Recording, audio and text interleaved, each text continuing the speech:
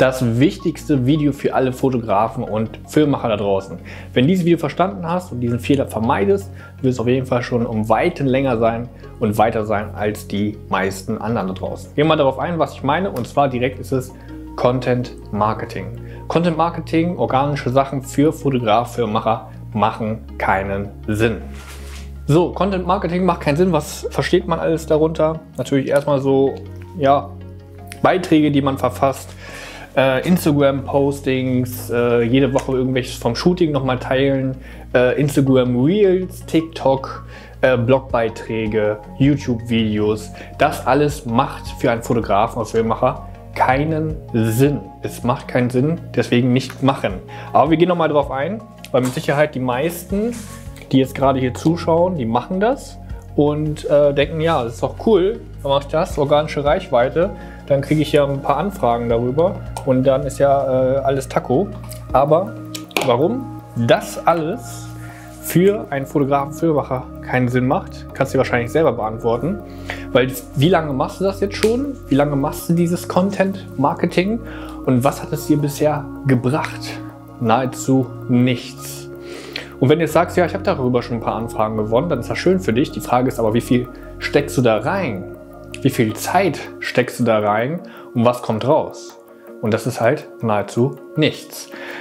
Ähm, in gewissen Bereichen macht das Sinn, ja, aber nicht in der Fotografie oder Filmemacherei.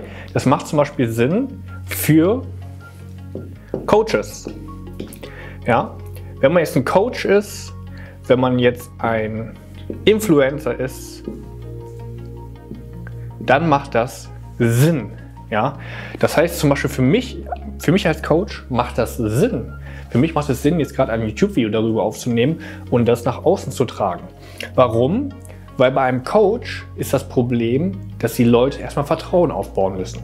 Ja? Großes Problem ist Vertrauen. Leute sehen meine Werbeanzeigen, Leute tragen sich bei mir ein, kommt zum Beratungsgespräch und dann ist die Frage, ist das, was der Edmund macht, wirklich echt?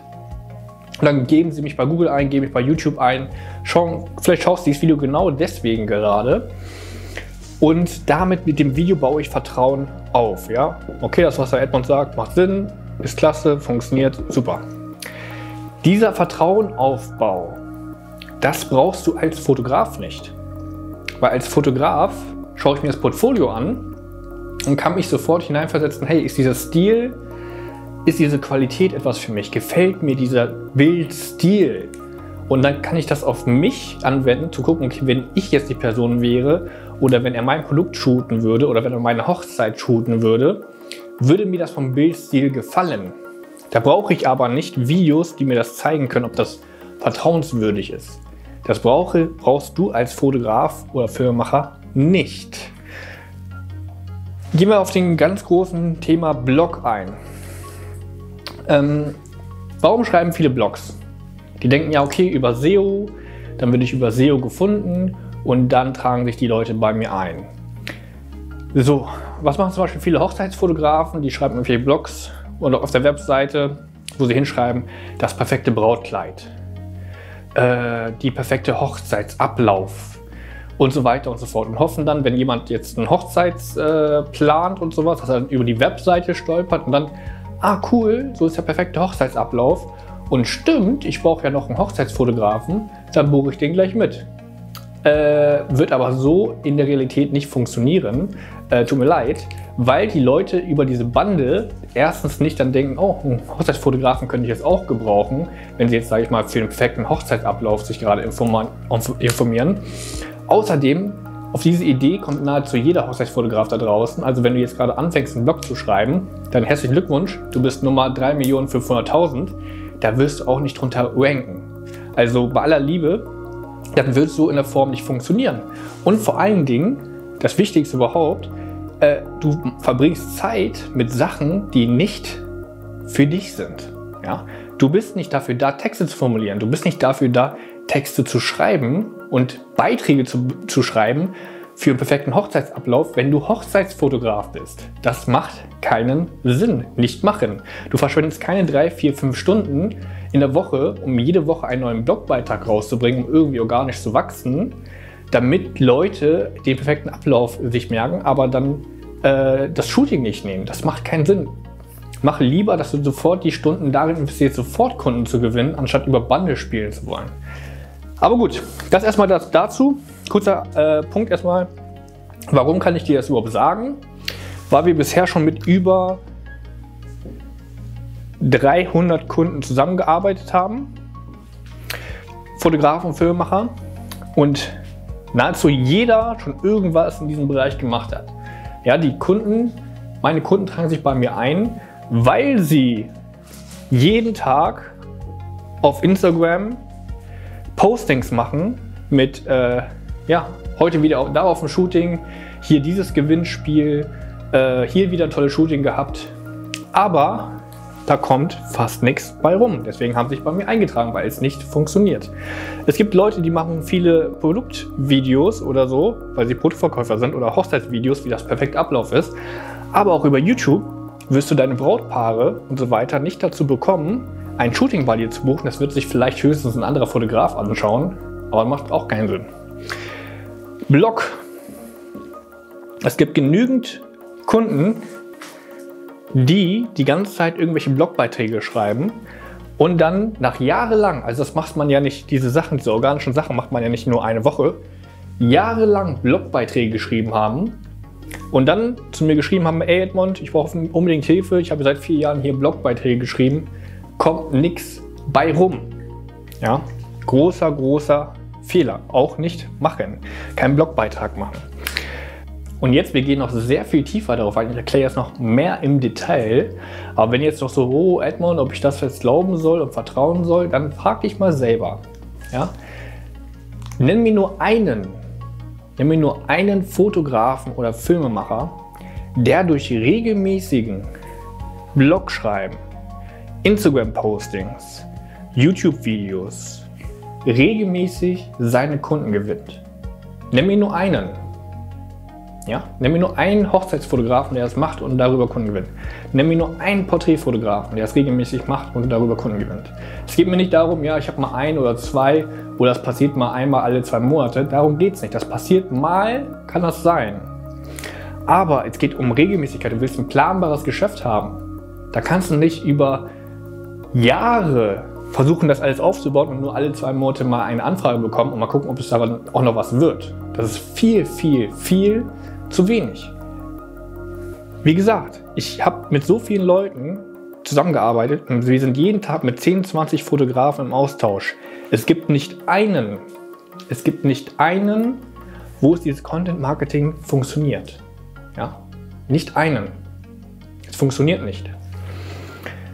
Es gibt ja auch viele andere Coaches da draußen, ja. Der eine predigt so, der andere predigt so. Man muss gucken, was für sich das Beste. Es gibt auch andere Coaches, die draußen halt drauf pochen, hey, du musst live gehen, du musst immer mit deiner Community interagieren und du musst halt, ja, immer vor Ort sein. Nenn mir nur einen Fotografen und Filmemacher, der durch ständiges Live-Gehen Kunden generiert, langfristig. Wie gesagt, das macht Sinn als Coach. Also für mich würde das Sinn machen, live zu gehen. Für mich würde es Sinn machen, YouTube-Videos zu drehen, weil ich darüber Vertrauen aufbaue.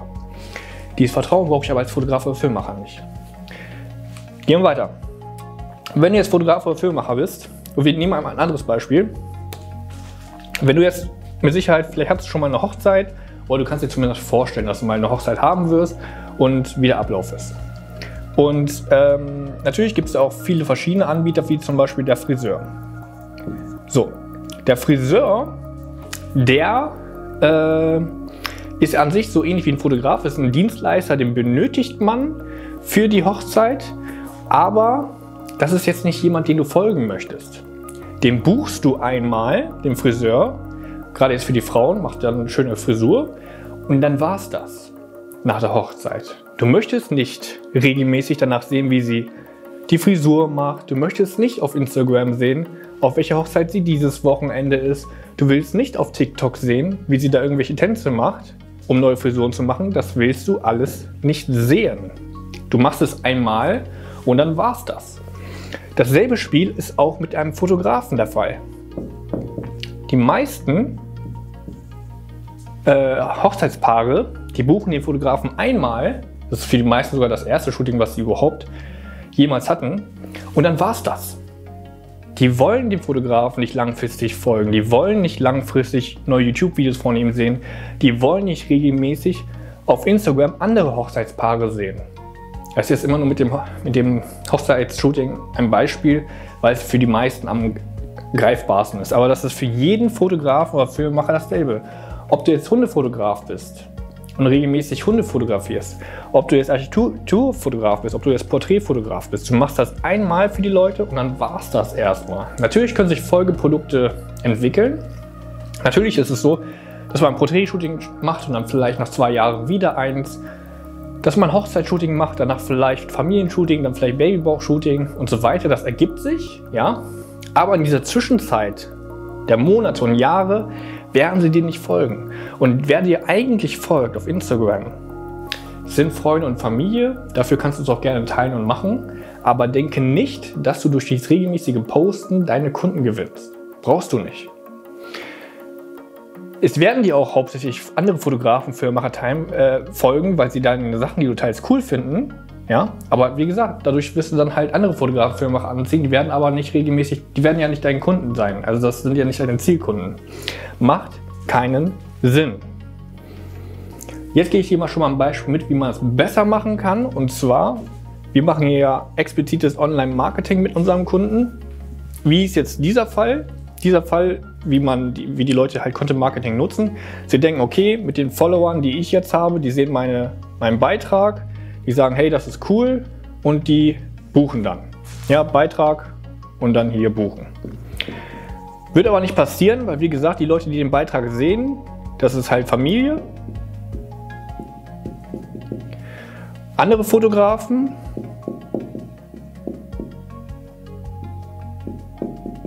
Videografen und die buchen halt nicht.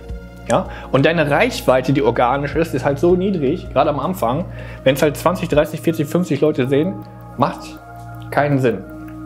So, wenn wir jetzt Online-Marketing machen ja, und ganz gezielte Beiträge an, wenn jetzt zum Beispiel, gehen wir aufs Beispiel der Hochzeitsfotografie, weil es greifbar ist, direkt nur an Brautpaare ausstrahlst, ja, nur Brautpaare das sehen, ist es natürlich viel wahrscheinlicher, dass die dementsprechend auch buchen. Und dann war es das aber. Ja, die buchen, es war ein geiles Shooting und zack, dann kannst du es ausstrahlen an die nächsten. Was die Leute aber hier oben glauben, ne, wenn sie dann organische Reichweite machen, ja okay, dann folgen die mir und dann bleiben die bei mir, das wird nicht passieren. Natürlich gibt es hin und wieder welche, die dann die auch wirklich dann äh, per Instagram folgen und sowas. Aber das ist in Masse nicht genug und das ist in Masse auch nicht, dass das halt äh, langfristig die neue Kunden bringt. Das macht keinen Sinn. Kommen wir jetzt auch erstmal auf den Ursprung. Woher kommt denn jetzt erstmal dieser Glaube, dass man das machen muss? Zum einen gibt es natürlich da draußen viele Coaches und Influencer, die das vorleben, wie zum Beispiel auch Peter McKinnon, kennen wahrscheinlich die meisten da draußen, ein sehr berühmter Influencer und YouTuber aus Amerika, der Filmemacher ist.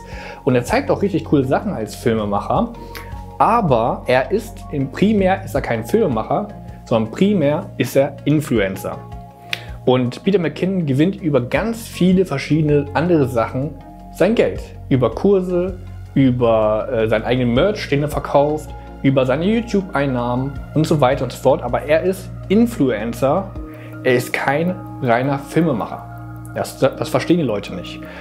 Dann gibt es natürlich andere Coaches, die das sagen, die das, die, dass du halt organisch Reichweite machst. Und natürlich tut man dann was und es fühlt sich auch gut an, wenn man erstmal irgendwie etwas tut, weil man denkt, okay, ich tue etwas für mein Unternehmen und man sieht ja durch die neuen Blogbeiträge und durch die neuen Beiträge, die man macht, Likes passieren, viele Leute liken das, man kriegt einen Dopaminausstoß, hey, andere Leute finden das cool, was ich mache, die schreiben coole Kommentare, vielleicht kommt auch irgendwie alle drei Monate oder alle halbe Jahre mal ein Auftrag darüber, funktioniert ja, ich muss nur noch mehr machen, aber du musst jede Woche, jeden Tag Postings machen, Beiträge verfassen, dir Inhalte überlegen, um die zu posten, was viel zu viel Kraft, Zeit und Energie kostet für das, was du rausbekommst. Weil es gibt da draußen nicht einen, wo es massiv so reinknallt, dass das wirklich was bringt. Und das muss dir schon auf jeden Fall wahrlich zu denken geben, ob du das dann so weitermachen willst, weil du verschwendest damit nur Jahre deiner Zeit. Es wird nicht funktionieren. Also bringen wir es nochmal auf den Punkt. Wenn du, das machen ja auch viele, weil viele haben am Anfang auch kein Budget. Ja? Viele haben kein Geld, um das in Online-Marketing zu stecken. Viele haben auch kein Geld, um das vielleicht in hohe, höherwertiges Coaching zu packen. Hey, alles gut. Ja? Kann ich verstehen, dass man dann versucht, okay, dann mache ich irgendwie etwas und dann poste ich was und dann fühle ich mich gut, weil ich habe ja was getan. Es wird aber so, wie gesagt, in der Form nicht funktionieren. Was du dann lieber machen kannst, ist geh direkt auf die Leute zu. Ja, du kannst im B2B-Bereich direkt die Leute kontaktieren. Du kannst äh, eher direkt nach Empfehlungen fragen und Leute, mit denen du schon Shootings hattest, direkt nach Empfehlungen fragen. Du kannst Leute direkt anschreiben. Alles, was irgendwie proaktiv auf eine Person, sobald schon Kontakt herrscht, hast du viel schnelleres Feedback, anstatt nur zu hoffen, hey, ich schmeiße einen Beitrag in die Welt raus und hoffentlich beißt irgendwer da bei diesem Beitrag an. Das wird, wie gesagt, nicht funktionieren. Das alles macht Sinn als Coach, Influencer, alles, wo man Vertrauen aufbauen muss. Da kann man wirklich regelmäßig etwas posten, da macht das wirklich Sinn. Aber auch hier, mein YouTube-Kanal baue ich jetzt seit vier Jahren auf. Meine Abonnentenanzahl ist immer noch sehr, sehr, sehr gering dafür, geht langsam Stück für Stück vorwärts. Ich mache es trotzdem regelmäßig und es kostet auch verdammt viel Zeit. Auch dieses Video wirklich so aufzubereiten, dass es jeder versteht und aufzunehmen, kostet verdammt viel Zeit bringt mir aber was, weil die Leute checken, ha, Vertrauenaufbau funktioniert. Bei einem Fotografen brauche ich das nicht. Ja? Du kannst die meisten meiner Kunden gewinnen mit einem Beitrag und einem Bild. Auch äh, paradoxerweise die Filmemacher, die einen Imagefilm bewerben, wo man denken würde, okay, mit einem Film bewerben würde mehr Sinn machen. Auch die gewinnen mit einem Bild und einem Beitrag ihre Anfragen. Paradoxerweise aber funktioniert ein Bild reicht, damit die eine Anfrage stellen, weil wenn du Brautpaar bist, ja, wie gesagt, weil es einfach zu verstehen ist, äh, du Brautpaar bist und suchst einen Hochzeitsfotograf oder du suchst noch nicht mal einen Hochzeitsfotografen, sondern bist in den Hochzeitsvorbereitungen, dann checkt der Algorithmus, hey, Brautpaar, hier, ich habe einen Fotografen, strahlt diese Werbeanzeige aus. Brautpaar sieht das, ja stimmt, brauche ich ja noch. Ähm, klicke ich drauf, stelle erstmal eine Anfrage, bevor es zur Buchung geht. Das war schon, das war schon die ganze Journey. Du hast den Kontakt, kannst anrufen und fertig.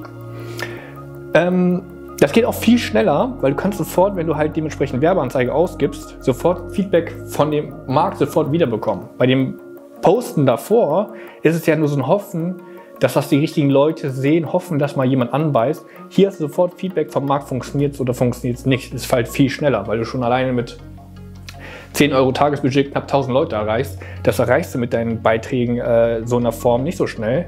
Und wenn du halt eine gewisse Reichweite hast und das halt, wie gesagt, Familie, Freunde, Foto- oder Videografen, die das nicht äh, benötigen, die das nicht buchen werden. Ja? Die liken das dann, dann wird das wieder anderen Fotografen ausgestrahlt und so weiter. Alles Kokolores.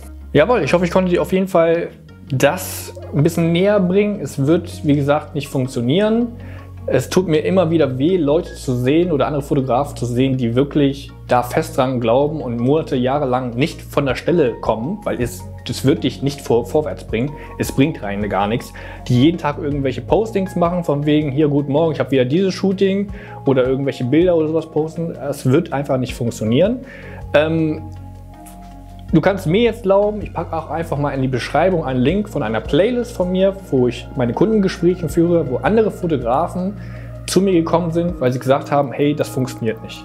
Wenn du nicht primär dann mir noch nicht genug vertraust, dass du denkst, hey, ja, ob ich den App mal jetzt vertrauen kann, das sagt er jetzt erstmal in einem Video, dann glaub den anderen Fotografen, die das schon vorher gemacht haben.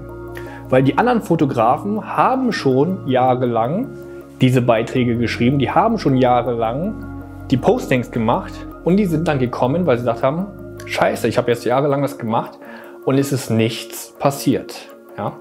Also bitte schau dir, wenn du hier noch nicht damit zufrieden bist, die Videos im Anhang an, dann wirst du es noch mehr verstehen.